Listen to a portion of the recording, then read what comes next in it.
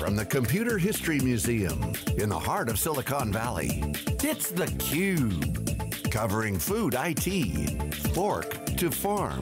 Brought to you by Western Digital. Hey, welcome back everybody. Jeff Frick here with theCUBE. We're at the Computer History Museum in Mountain View, California at the Food IT Show. About 350 people from academe, from food producers, somebody came all the way from New Zealand for this show, to a lot of tech, uh, big companies and startups talking about applying uh, IT to food, everything from ag to consumption to your home kitchen to what do you do with the scraps that we all throw away. And we're excited now to get to the big brain segment. We've got our PhDs on here. We're excited to have uh, Dr. Glenda Humiston. She's the VP Agriculture and Natural Resources for the University of California. Welcome. Thank you. And also Dr. Helene Dillard. She's the Dean of the College of Agricultural and Environmental Sciences at UC Davis. Welcome. Thank you. So first off, uh, we were talking a little bit before we turned the cameras on. Neither of you had been to this event before. Just kind of your impressions of the event in general. I love seeing the mix of the folks here. As, as, you were saying in your intro there, there, there's quite a diverse array of people. And I personally believe that's what's really going to help us find solutions moving forward, that, that cross-pollination. And I've enjoyed it, just seeing all the different people that are here, but then the interaction with the audience was very uniquely done, and I just think that's a real big positive right. for the show. So you guys were on a panel earlier mm -hmm. today, and I thought one of the really interesting topics that came up on that panel was, what is good tech?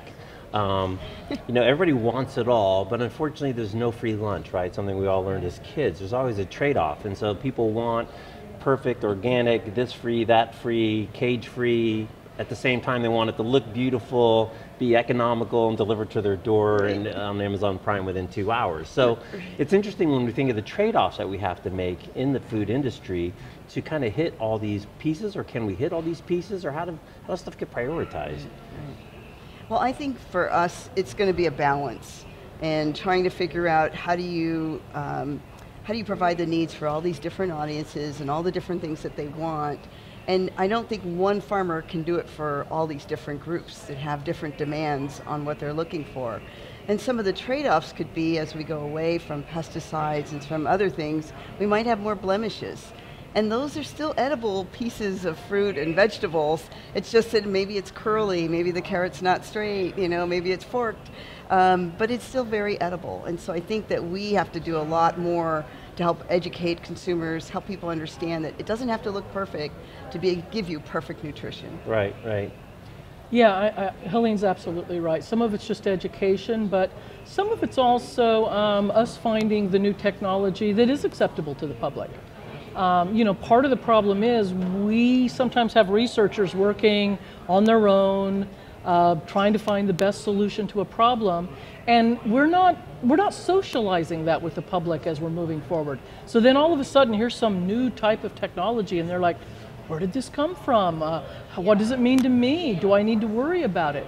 And and that's one reason we, we talked earlier on the panel too about the need to really engage more of our citizens in the scientific process itself. Right. And, and really start dealing with that scientific illiteracy that's out there. Because there's a lot of talk about transparency uh, yes. uh, in, the, in, in the conversation earlier today about what is transparency, because you always think about you know, people complaining about genetically modified mm. foods. Mm. Well, what is genetically modified? All you have to do is look at the picture of the first apple ever, and it was a tiny little nasty looking thing that nobody would want to eat compared to what we see at the grocery store today. Right. Well, a different type of genetic modification, but still, you know, you don't plant the ugly uh, one and you plant the ones that are bigger and have more fruit, guess what? The next round has more fruit. So it does seem like a big education problem.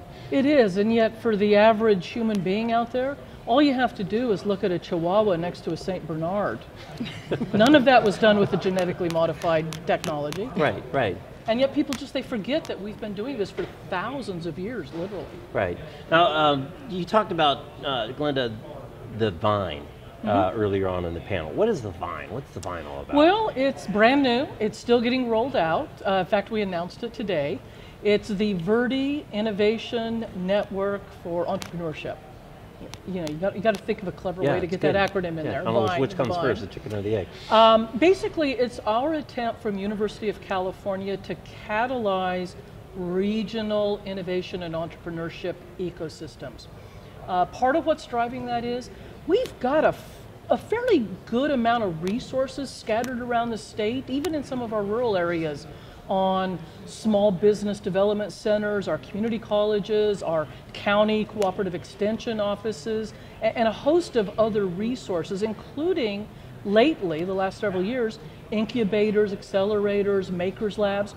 But they don't talk to each other, they don't work together. So we're trying to go in region by region and catalyze a coalition so that we can make sure that our innovators, our inventors out there are able to go from idea to commercialization with all the support they need.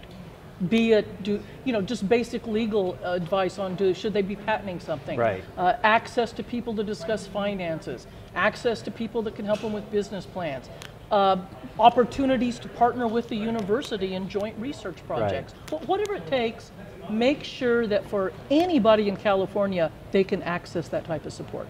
So that's interesting, because obviously at Haas um, and at Stanford, mm-hmm. not far from here, you know, a lot of the technology success companies come out of, you know, kind of an entrepreneurial spin with a business focused grad and, a, mm-hmm. and a, often a tech grad in, in, the tech world, and you know, ton of stuff at Berkeley on that. Yeah, but, but those really folks are in ag, urban areas. Right, yeah, right. yeah. If you're in a large urban area or you're near a major campus, you've probably got access to most of that. If you're in agriculture, natural resources, and particular our more remote rural communities, you typically have no access or very little. Right, right. So begs the question, Helene, so you're at Davis, right? Mm -hmm. Obviously known as one of the, the top agricultural focused schools, certainly in the UC system, if not in the world. I mean, how is the role of academic institutions evolving in this space as, mm -hmm. as we move forward? I would say it's evolving in that we're getting more entrepreneurship on campus. So professors are being encouraged to look at what they're working on and see if there's patent uh, potential for this. And also we have uh, a group on UC Davis campus called Innovation Access, but looking at how can they access this population of people with money and you know the startups to help them bring their thing to market. Right. So that's becoming, that's a very different campus than years ago. Um, I think the other thing is we're also encouraging our students to look at, at uh, innovation. And so we have a competition called the Big Bang, and students participate in that. They do hackathons, they do all these kinds of things that we only, we tend to think that only the adults are doing those, but now the students are doing them as well. Right. And so we're trying to push that entrepreneur uh, spirit out into all of our, all of our campus, everyone on the campus. And, and, and I do want to emphasize yep. that this isn't just for our students or our faculty the, the, one of the key focuses of the Vine is all of our external partners too. Right. J just the farmers, the landowners, the average citizens we're working with out there. If they've got a great idea, we'd like to help them. Right. Yeah. And what's nice about tech is, you know, tech is a vehicle that you can't change the world mm -hmm. without having a big company. And I would imagine in, in ag as, as kind of big, big ag rolled up a lot of the smaller, mid-sized things, you know, they probably didn't feel like there was an opportunity that you could have a huge impact, but as we know, sitting across the street from Google, that via software and technology, you can have a huge impact far beyond kind of the size and scope of your company. So Absolutely. I would imagine this is a theme that you guys are playing off of pretty aggressively. Absolutely, and I think there are people on campus that are looking for small farm answers in mechanization as well as large farm answers.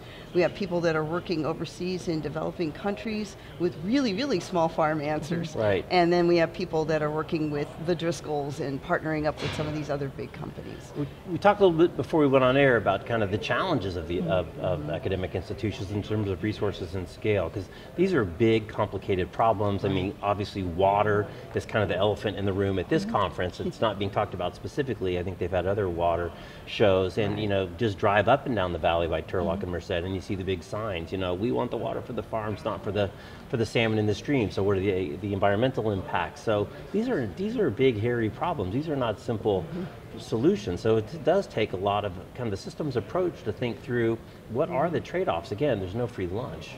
It, it, it, really does take a systems approach, and that's one thing here in California we're doing some very innovative work on.